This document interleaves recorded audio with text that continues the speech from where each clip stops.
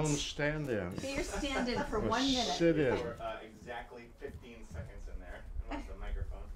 Uh, there we go. oh, looking good. Uh, that's so I can get an adjustment. Does he look like Howard This- Zinn? This is uh, good.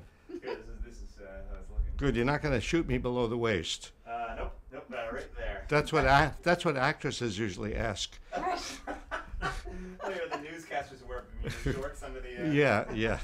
Oh, you look terrific. Okay. So you got the right height? Yes. Okay. Call me when you need me. Okay, it'll be about uh, 10 minutes at the most. Okay.